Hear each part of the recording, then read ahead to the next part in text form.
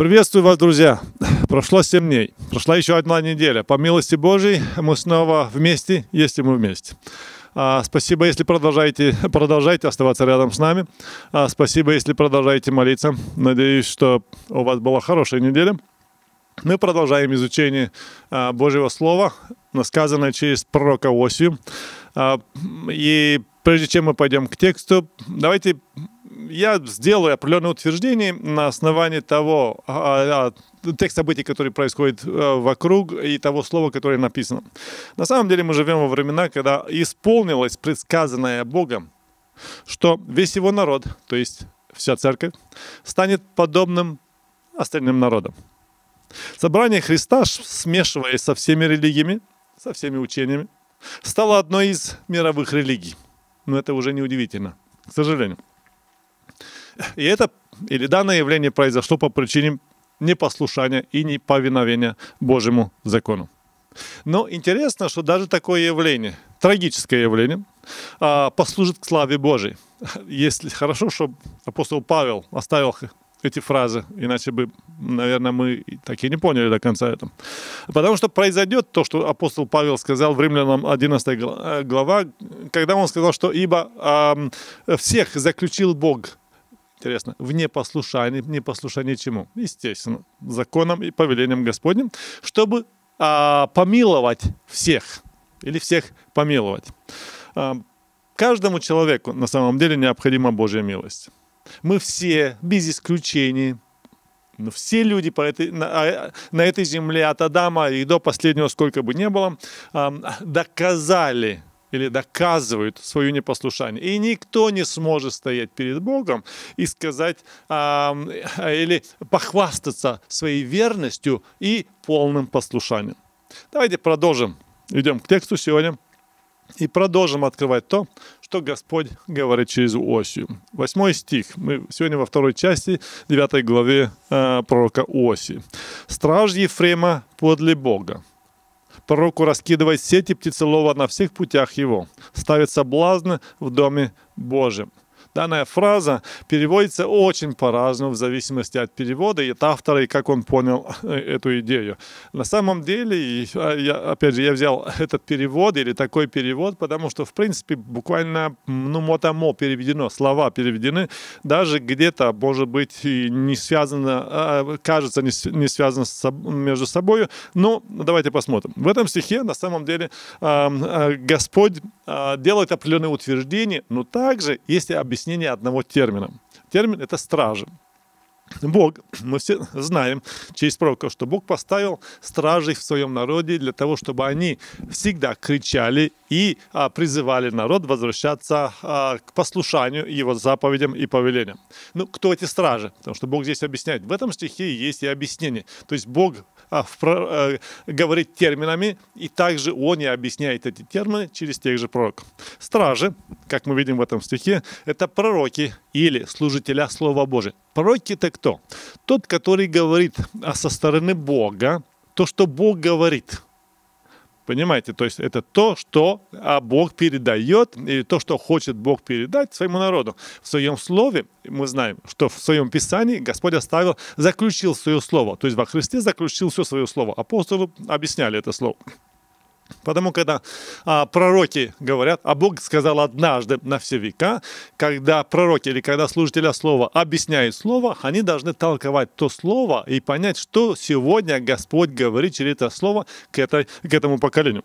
А, Бог всегда послал своих посланников трубить, то есть обличать, исправлять, призывать, да, призывать к покаянию, к послушанию. Но к сожалению, во все времена так было, и мы знаем это по откровению, а, так происходит. Этим служителям всегда а, расставляли или раскидывали а, птичьи сети. Их всегда обвиняли в неправильном понимании слова, в таких духовных вещах, что он неправильно объясняет, он неправильно понял от Бога. Почему? Потому что чаще всего это обличение, а не ободрение.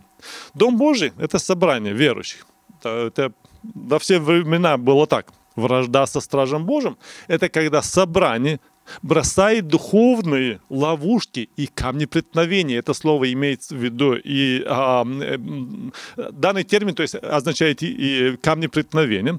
Так что эти служителя со временем из-за этих камней преткновения, из-за этих ловушек, ловушек э, перестают говорить всю ту истину, которую Бог повелевает им говорить. Девятый стих. Глубоко упали они, развратились, как в одни гивы. Он вспомнит нечести их, накажет их за грехи их. Собрание сильно развратилось.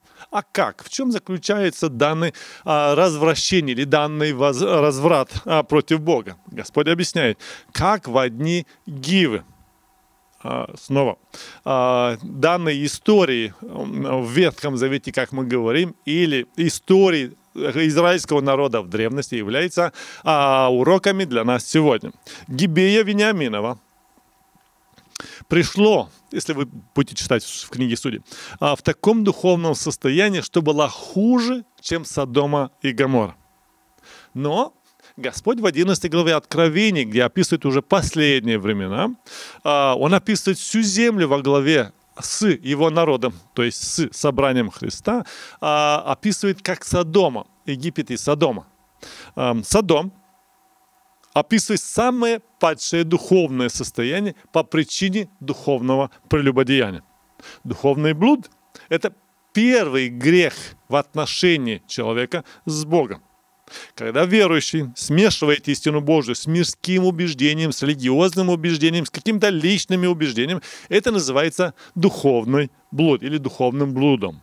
Гибея как образ, крайне падший духовный ага, образ э, общества. Ну, Господь говорит, что именно этот образ или он, а, он называет церковью, э, или называет собрание сегодня а, Гибеей, то есть а, сравнивает. И это э, данное состояние относится ко всем собраниям по всей земле. И когда настал естественно, в конечном итоге, когда настал день Божьего суда, который он обещал, что придет а, на всех на этой земле, верующие не устояли, абсолютно никто. А, то, что мы говорим об остатке, остаток Бог спас. Не потому, что они были а, не в этом падшем состоянии, а потому что нашлось что-то в них, а что нашлось, прочитайте в Езекииле 9 глава. Когда, 10 стих, «Как виноград в пустыне я нашел Израиля», то есть отцов. Как первую ягоду на смоковнице, в первое время ее увидели я отцов ваших. Но они пошли к Ваалфигору и предались постыдному, и сами стали мерзкими, как тот, которого возлюбили. Понимаете, что отцы наши не пошли к Ваалфигору. Но в этом случае Бог сначала описывает а, про отцов нашей веры. Израиль — это Яков. Бог переименовал Якова. А, все обещания и обетования, которые Бог дал а, всему своему народу, Он дал через отцов наших. А, все, без, а, без исключения. И Бог описывает наших праотцов, то есть в древности, описывает как хороший виноград и как очень хорошие смоквы, которые да, их можно а, кушать. А что это означает? Виноград олицетворяет праведные дела в результате послушания Божьим законам праведные дела и правильное понимание да, благодаря этим э, законам.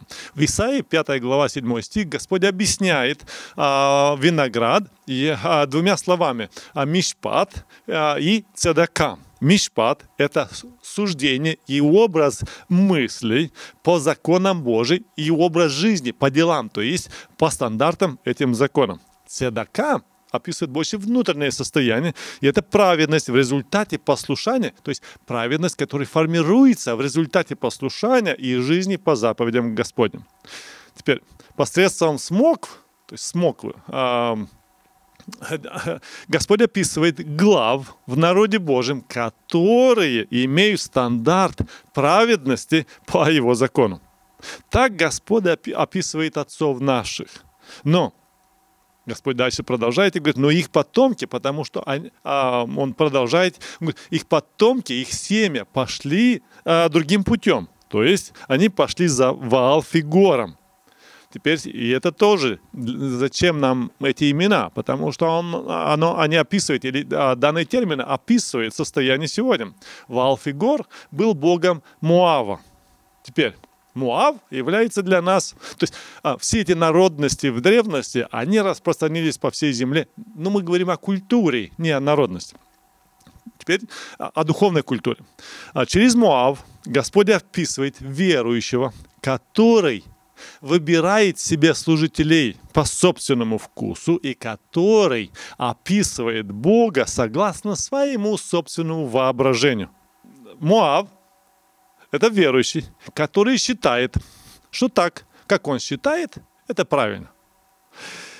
Вот почему сегодня у нас есть поколение, ну, мягко говоря, искаженных верующих, где каждый со своей верой. У каждого своя истина – у каждого своя праведность, у, каждой, у каждого свой образ Бога в, в конечном итоге. Мы все привыкли, на самом деле мы все привыкли к фразе со стороны верующей, которая звучит примерно так. Ну, я считаю, что Господь имеет в виду вот это. И продолжает объяснение того текста, который он думает, что так это Бог имеет в виду. Ну, своего рода, э, своего рода э, духовная демократия.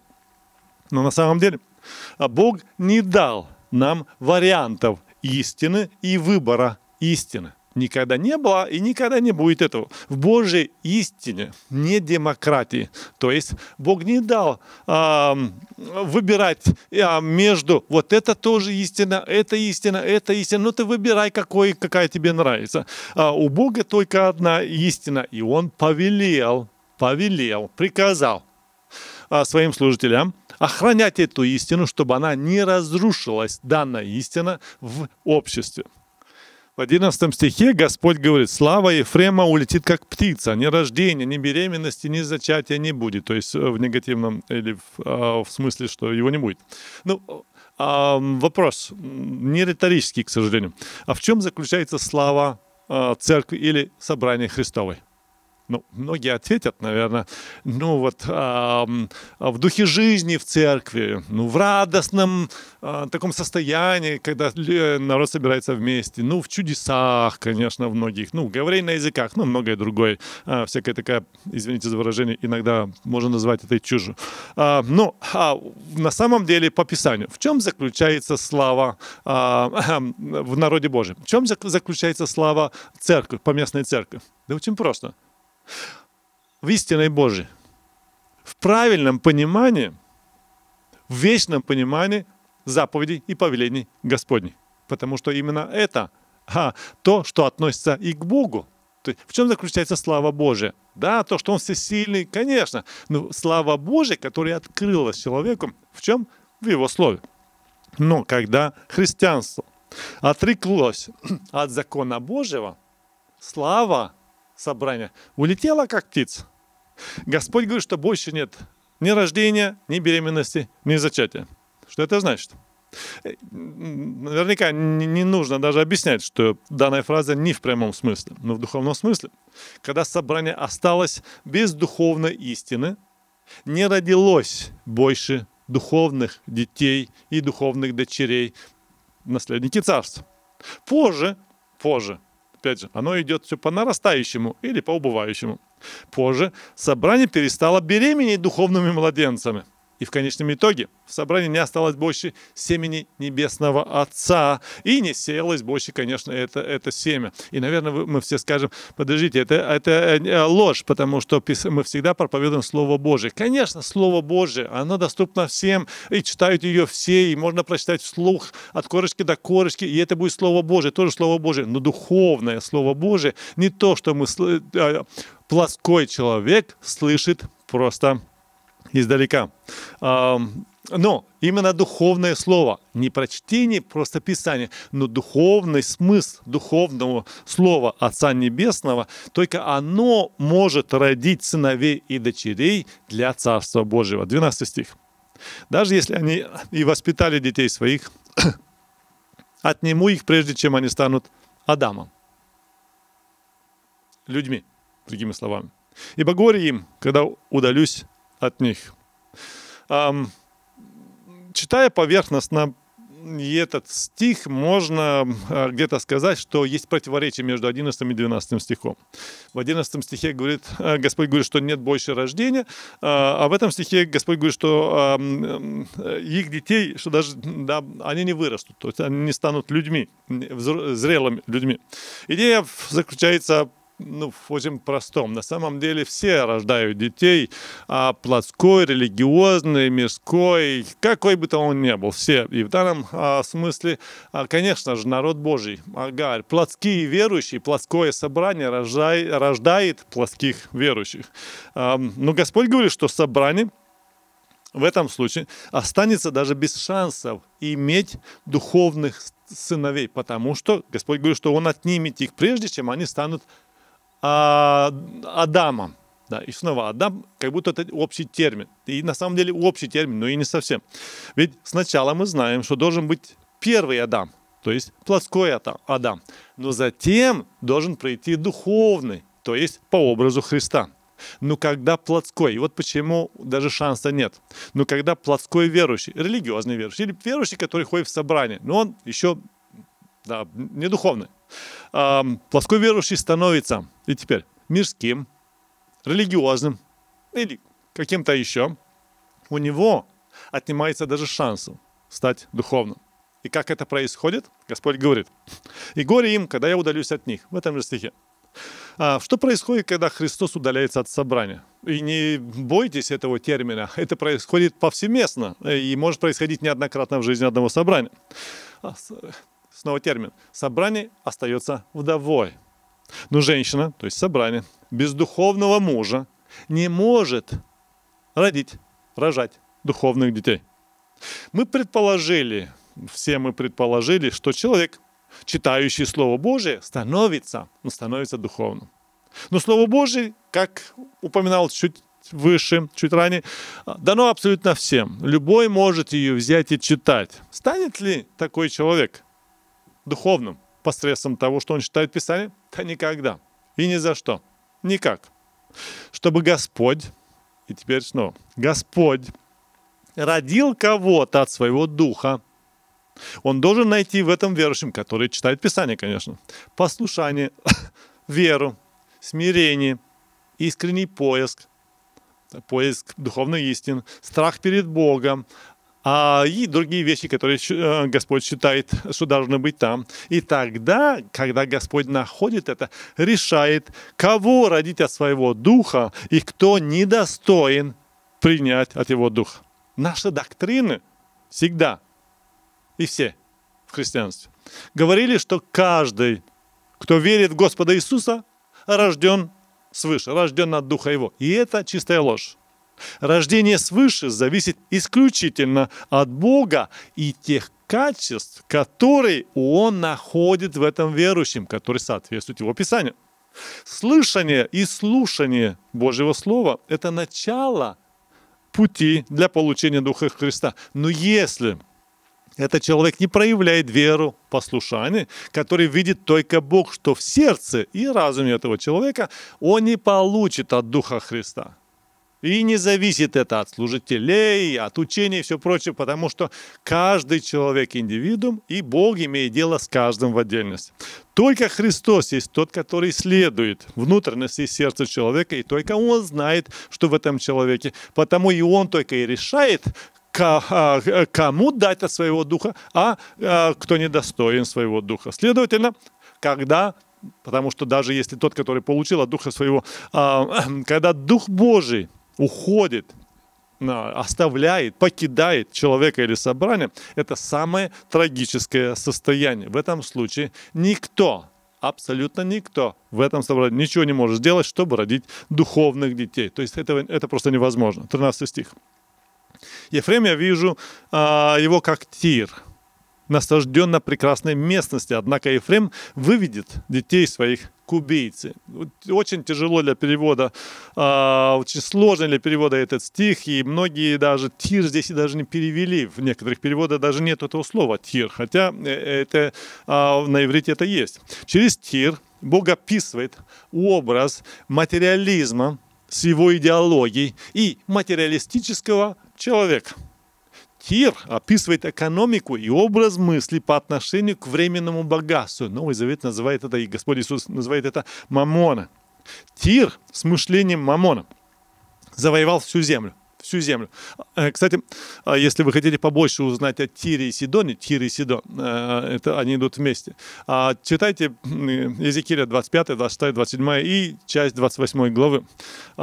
Тир с мышлением Мамона завоевал всю землю, включая что он также вошел и в церковь. Служителя восприняли это мышление материализмом, оправдали ее с помощью Писания, ну, такими примерами, как Авраам был богат, пример Соломона, который был очень да, процветающим в этой жизни, учили верующих в собрании. И сегодня э, мы удостоились чести иметь поколение верующих, ну, чисто материалистических, э, любящих богатство, даже не знаю, кого больше, Господа или богатство, больше, наверное, чем собственную плоть.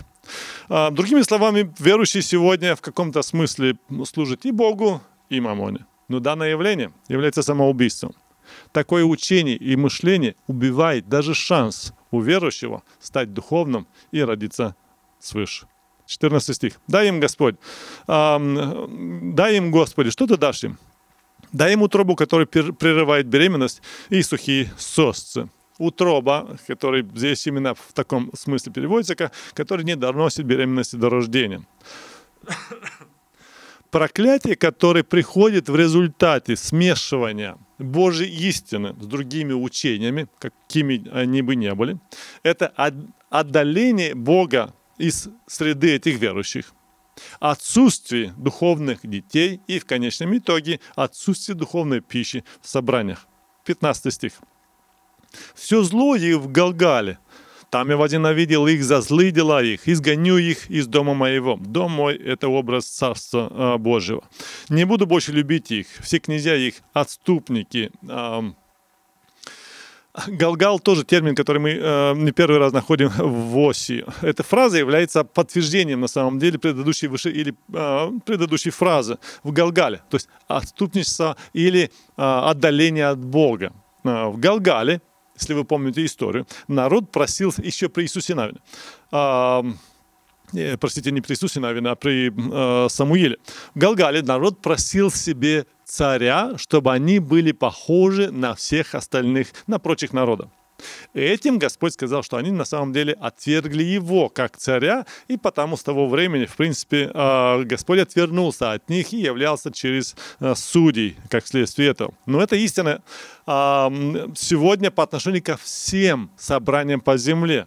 В мире по все, во всем мире, кроме небольшого остатка, которого Господь спас из-за смешивания а Слова Божьего с мировыми религиями, с разными учениями, Дух Господа сегодня покинул собрание Христа. Бог остается царем в жизни общества, когда есть полное повиновение всем его законам и заповедям и повелениям. Но когда Дух Божий покинуло собрание христиан, то есть после того, как Дух Божий покинуло собрание, или со временем, потому что он, это же не, не в момент происходит, а на протяжении поколений, потихоньку и потихоньку. А, когда Дух Божий покидает собрание, а, и это образ христианства сегодня, а христианство на самом деле утратило образ Царства Божьего и как следствие, естественно, потеряла также и доступ в царство. Если бы служители не были бы такими упрямыми, а, потому что Господь всегда оставлял своих стражей, чтобы призывать и служителей, чтобы вернуться э, к Слову Его, а, то особенно когда речь идет об истине Божьем, а, то мы бы не оказались в таком состоянии, ну, как христианство по всей земле. 16 стих. «Пораженный Ефрем, иссох корень их, не будут приносить они плода. А если и будут рождать, я умершлю вожделенный плод утробы их. Корень их иссох. Означает, что христианство осталось без источника живой воды, то есть без того, а, а, откуда он бы всасывал а, живую воду. Все, что вырастает сегодня, как Господь уже сказал неоднократно через осень, все, что вырастает из этого корня сегодня, только терни и колючки. Поэтому Бог говорит, что Он отвергает таких детей, потому что это не Его дети. 17 стих. «Отвергнет их Бог». а, потому что они не послушались его и будут скитальцами между народами. И этим, в принципе, заканчивается история а, христианства или церкви Христовой по всей земле а, от Христа до Христа. Этот стих в совершенстве исполняется сегодня по всей земле. Бог покинул собрание, забрал свой дух, и собрание потихоньку блуждали, блуждали, пока все мы не смешались с мировыми, мировыми религиями и философиями, а, мышлениями. Бог воскресил естественно, небольшой остаток, чтобы человечество не осталось как Содома и Гамора, то есть чтобы это не было полностью а, опустошено и без шансов, или без надежды на жизнь. А, но в ближайшее время и в ближайшем будущем, надеемся, что это очень скоро произойдет, через этот остаток после воскресения, через свой дух, Господь Бог оживит снова все. Даже языческие народы, которые сегодня без Христа, их Господь оживит. И это будущее. Состояние сегодня или ситуация сегодня в мире а, такова. Господь предупреждал, показывал, опять с нашими глазами, мы никогда не понимали, не видели это. Ну, реальность есть реальность, и от нее ни в коем случае невозможно убежать. Невозможно убежать просто. А, ее можно только воспринять, эм, чтобы понять, что нужно делать, или можно ее отстранить или э, отклонить э, и не принять ее. Но реальность такова. Э, мы пришли к такому моменту, и в любом случае э, к славе Божьей послужит то, послужит то э, что Он проявит милость ко всем. Э, но до того времени или до того дня, когда наконец-то откроются эти сыновья, и когда наконец-то начнется все оживлять, да, когда воды живые потекут и в море, и в, рек, в реках, а, для того, чтобы снова а, ожило все живущее там а, в морях и в реках. А до того времени а, давайте да, бодствовать особенно сегодня, бодствовать, чтобы мы оказались стоящими на ноги перед тем, кого, а, кем мы хотим стоять на ноги, и да поможет нам Господь а, до того времени а, не упасть в надежде своей. Будьте благословенны. Спасибо еще раз, если остаетесь рядом с нами. Надеемся, увидимся через 7 дней, если Господь позволит. Спасибо. До свидания.